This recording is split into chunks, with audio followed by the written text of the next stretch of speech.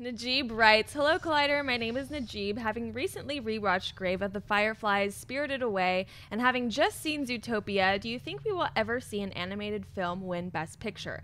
Personally, I think Spirited Away should have won. Keep up the good work. Do I think that we should? Yes. Do I think Inside Out maybe should have been in there last year and they should have had 10 pictures and they should just go back to 10 pictures? Yes. Do I think it'll ever happen? No. Because I think that their rationale is, well, we we have the best animated category, so we don't really need to put that in there because Beauty and the Beast, I think, was the last one to do it, maybe.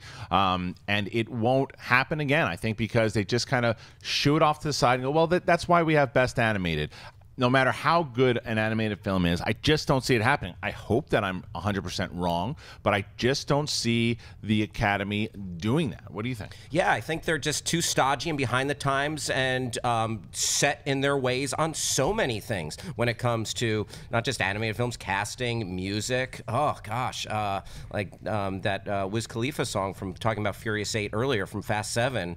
Uh, my God, it brings me to tears every time I uh, hear that thing. So, um, yeah, the, the, the, Academy they will continue to get it wrong on animated films. They should at least be nominated, considered. Uh, why couldn't an animated film be the best movie of that year?